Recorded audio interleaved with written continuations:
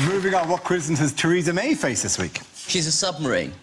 Yes, why is she submarine? That was her nickname, apparently, this unkind nickname they gave her, uh, because she sort of has a tendency to sort of disappear under the water when difficult issues come up. But the joke about submarines is never that they disappear all the time, is it? It's that they're full of semen, Yeah. isn't it? It's such a weird... What? Is it? Is it? Enough, don't, don't. No. I, I Don't thought- broadcast, please. the- We, we all saw that one and didn't go for it. And he, the classiest one among us, went for that joke, all right? But that's because I I it's just- so... appeal to your better... Man in the editing suite, I appeal to your better angel. Dara, I thought the point of a submarine is that it went down on you.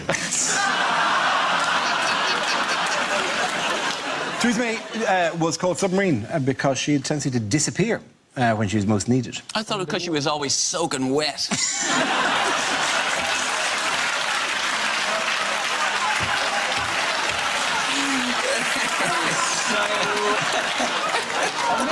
typical of you, just to bring... bring the tone down.